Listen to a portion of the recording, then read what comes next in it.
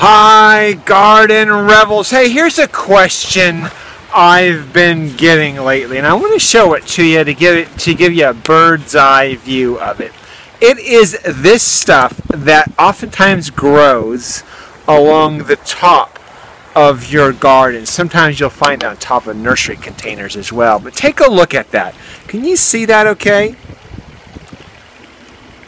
It's kind of like, the best way I want to describe it, it kind of looks like uh, a green slime that grows on top. And I want to tell you what that is and what to do about it.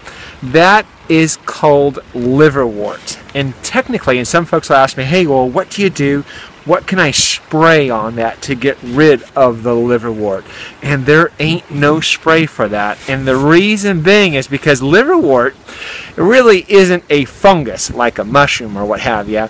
And it isn't a, a plant either like corn. Um, and so it is, liverwort is in a living thing all on its own. And so technically we don't have a spray for it. What to do about it, it will cover. Generally it's in the shady, damp areas of your garden.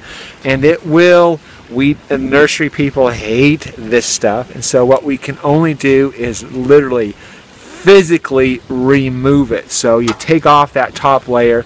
Nice thing about it is it generally comes off in a nice chunk um, or pieces of chunk. So then you just take that and you chuck that. And here's a way, by the way, that you can prevent that from happening is take this you take hazelnut shells I call them filbert shells and you cover that area in that. And so that liverwort tends not to like to grow on those sharp edges and what have you. So it'll keep that liverwort away. So anyway plus hazelnuts. Very Oregon. Very cool. Very nice. Unusual too. Guys that's the show for the day.